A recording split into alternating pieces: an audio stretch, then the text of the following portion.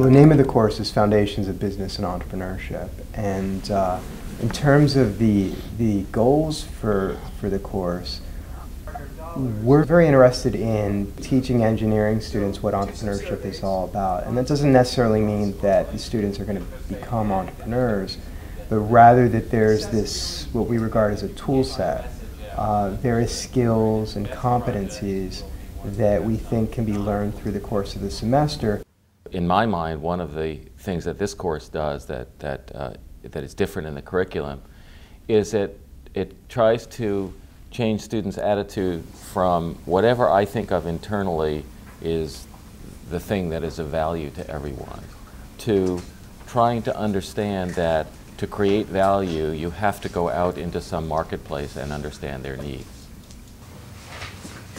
Who are these people, okay, that are right for your product that are most likely to reach into their pocket and part with a few of their hard-earned dollars to purchase. We spend the first few weeks of the course so, talking surveys. about what makes for a, a good business opportunity uh, and how do you think about putting together your yourself with your passions or your interests and a team of people together with an idea that might provide some value to a market. It's a balance sheet which are going to just give you a quick preview because you're going to be looking at it, is a snapshot. We make them do a mini business plan at the beginning, and then the rest of the semester uh, is a combination of learning skills, these tool, the toolkit that Stephen was talking about, whether they're financial skills or their marketing skills or whatever kinds of skills they might be, uh, and, uh, and them actually trying to carry out their project. Hands-on advertising was uh,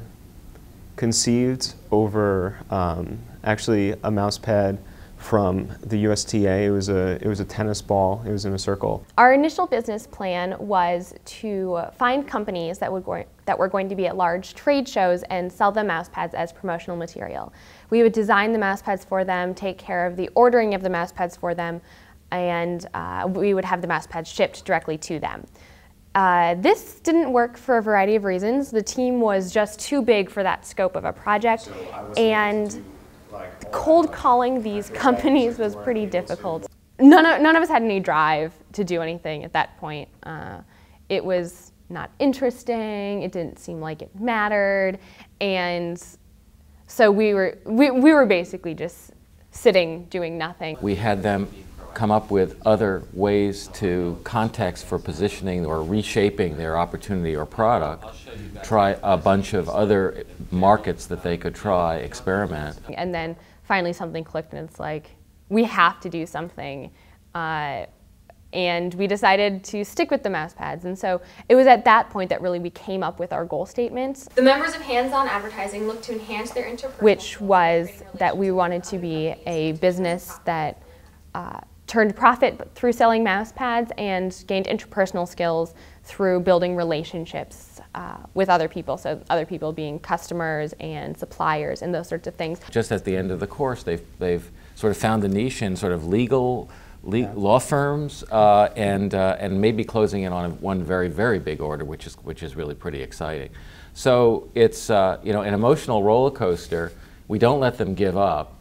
What does success mean in these 10 week projects that you've been struggling really struggling In this course, I learned a lot of different things. I think uh, from running the, from working on the business, I think the biggest thing I learned was on team dynamics and how to make a team of very different people, very different working styles, very different even visions for the teamwork. And I think first lesson is we all have to have the same vision. We all have to be working toward the same thing, uh, wanting the same thing, and agree to achieving that, that end goal in the same way.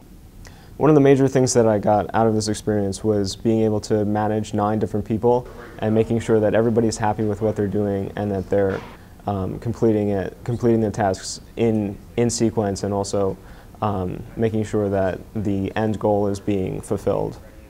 We're trying to change the idea of a, an engineering curriculum from being the mindset of an engineering student is a passive solver of problems that are given to her or him.